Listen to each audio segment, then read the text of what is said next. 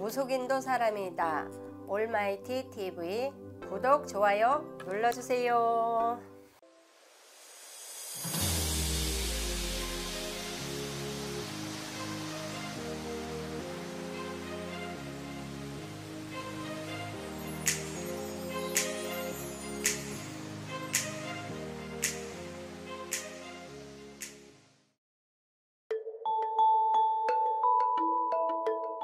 이십 대 삼십 대 사십 대들 그런 어, 잔나비떼들 있잖아요. 잘못하면은 손재가 있어갖고 지키기 어려운 해가 될 수가 있어요. 그러니까 항상 가까운 사람들을 좀 조심하고 함께 뭐를 일을 하더라도 서로가 도모하고 그러는 거를 좀 피했으면 좋겠고 그다음에 뭐 애정운 같은 경우에는 올해가 아마 최고의 해가 될 수가 있어. 그러니까 20대 30대들은 좀 잘 들어요. 올해 아주 좋은 해가 어, 되고 좋은 일이 많이 생길 수가 있고 부부가 또 해로가 할 수가 있고 아직 그 처녀 총각 이런 분들은 또 좋은 배필을 만날 수 있는 그런 해운년이 될 수 있으니까 올해는 좀 기대를 해봐도 좋고 건강운 같은 거는 좀 안 좋아요 올해가 건강운이 좀 안 좋으니까 어, 조심들 하시고 41세 경신생 원숭이들이 올해 참 좋아요. 올해 경신생들이 올해 이동의 변동이 있고 올해 뭐 회사 다니는 사람들은 회사에 승진수가 있을 것 같아. 그러니까 아, 올해 조심하고 그 다음에 올해는 어, 좀 차사고도 좀 조심해야 돼요 여기. 그리고 올해 이제는 어, 정월달, 2월달은 조금 약간 하는 일이 조금 막힐 수가 있어요. 좀 막힐 수가 있으니까 정월 2월 피하고 나면은 3, 4월부터는 꽃피는 봄날이 되거든요. 3, 4월부터는 정말 좋으니까 어, 마흔하나 어, 원, 저기 경신생 잔나비 띠들은 좀 기대해도 되고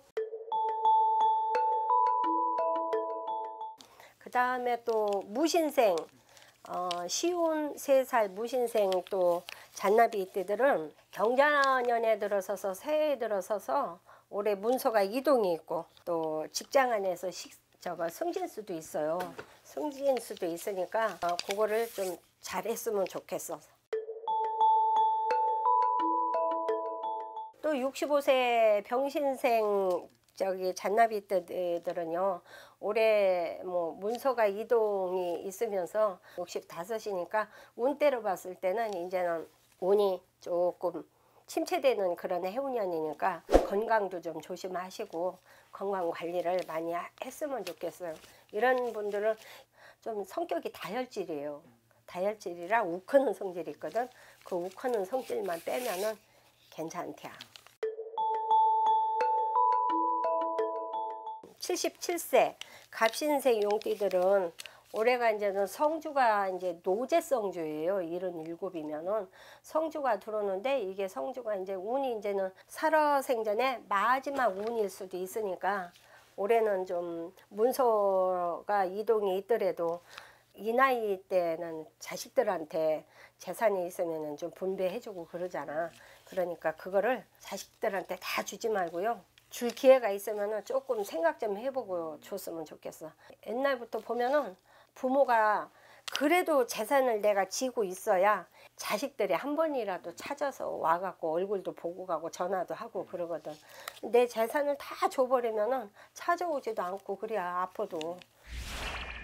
올해 이제 원숭이띠 전체적인 그 운이 총 운을 이렇게 보면은 많은 일을 어, 시도하게 돼 하게 된단 말이에요 올해 하이가. 그래서 새로운 일을 많이 처리할 수 있는 한 해가 될 것이고 또 우선적으로는 원숭이 띠들이 네, 성공할 가능성도 많지만은 또 성공 못하는 그런 경향도 있단 말이에요.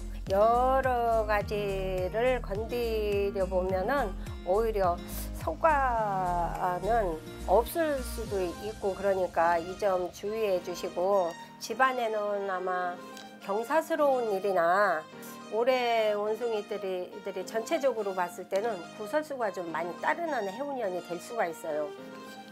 그러니까 구설엔, 구설수는 조금 좀 피하시는 게 좋아.